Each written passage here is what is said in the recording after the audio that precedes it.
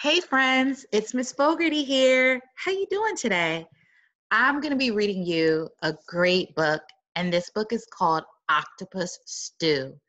And I want you to think, what would you do if an octopus was to capture, which means kind of like grab, your grandmother?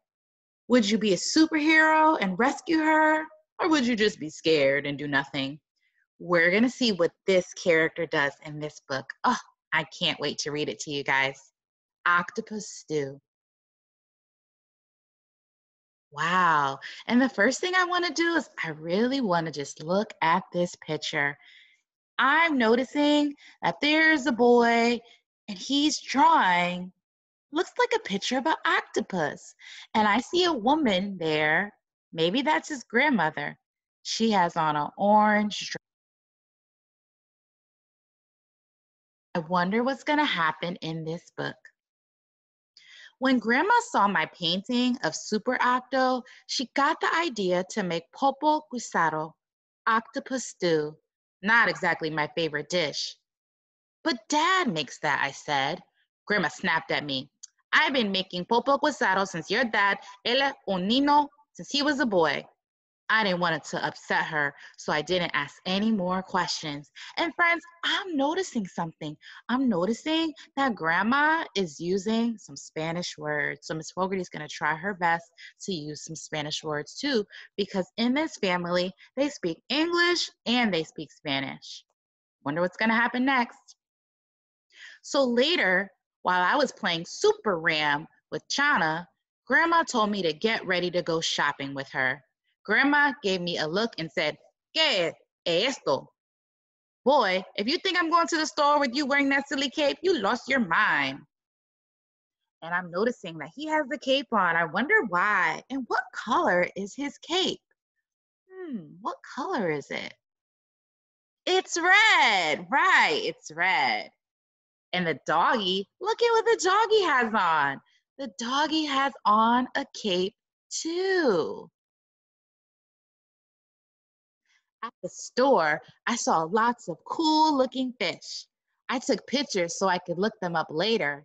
And he's taking a picture with his phone. Yes, he's taking a picture with his phone. Grandma picked the biggest octopus in the store. She said it was the best of the bunch. It looked like it was still alive to me. Kind of creepy. I decided to do some web surfing, and that means he's looking on his phone, looking up things, when a warning popped up on my screen about octopuses. I tried to tell Grandma, but she wouldn't let me.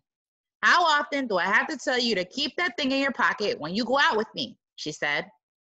Seems like Grandma's getting a little mad. Back home, Grandma unwrapped the octopus, gave it a good scrubbing, and put it in a pot of boiling water. I did my best to stay out of the kitchen. So, you know what, kids? In different cultures, different families eat different types of things. And they, what grandma's about to make is octopus stew. Might sound creepy, but sometimes we eat things in different cultures and they're really not creepy. They're just different than what we usually eat. So I wonder what's to happen next. Then grandma came to sit with me while I did my homework. All of a sudden, strange noises started to come from the kitchen.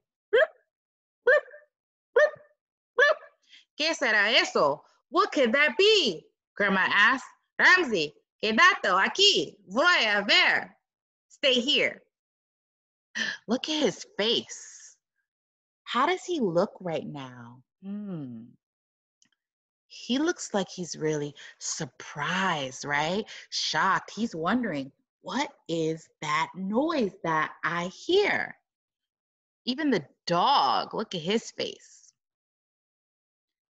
The noise got louder. Bloop, bloop, burr, bloop, bloop, burr. What's that noise? Oh my goodness, I wonder what it is. The octopus got so big it blew the lid off the pot. Huela, tengo, cuidado. Grandma, watch out, I warned. Escondete. Grandma hollered, hi. Oh my goodness, what are they gonna do? Oh,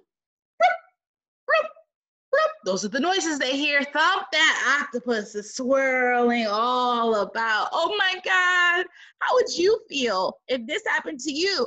I would be so scared. Oh my goodness, I'm already scared right now. Vamos de aquí, I yelled. Let's get out of here. But, but it was too late. Uh oh. The octopus has grandma. Oh my goodness, what's gonna happen next? I grabbed my phone and hid until I could figure out how to rescue grandma. The octopus had to have a natural predator, something that it feared. I searched, and there it was sharks. I grabbed my drawing pad and markers and drew the biggest, meanest, scariest sharks I could create. I wonder if the octopus is gonna be scared of the sharks. Let's see. I put on my super ram cape and marched into the kitchen. You put down my grandma, I yelled. Look at him. He looks really brave right now. He has his picture. Poor grandma. Oh no. Oh no. The octopus dropped grandma and attacked, spraying ink all over my drawing. oh my goodness. What's going to happen next? Dad interrupted. Okay, mijo, don't you think this is getting a little far fetched? I mean, like, really, Ramsey. Hey, Dad, you broke my concentration. It's my turn to tell a story tonight. May I please finish now? I just noticed something. This is a story that he's telling to his family. Oh my gosh. So I wonder, did this really happen? Now he's got me fooled. Did this really even happen? Let's see. You okay? I asked Grandma. Ramsey, ¿qué pasó? She said. Voy a lepre este desayuno. What happened? She didn't seem to notice the 20 foot octopus behind her. Then I remembered the warning that popped on my phone and read it out loud. Important. Before cooking an octopus, remove the eyes and beak. Look at his face. He's like, make that face. Look like you're shocked. Oh my God, I'm so shocked. Shocked means you're surprised. Sometimes we make that face when we're surprised. What? Cook me? Take my eyes and my beak? Why? said the octopus. Oh my goodness. Basta ya. That's enough. Senor Pulpo. Pulpo. That's octopus.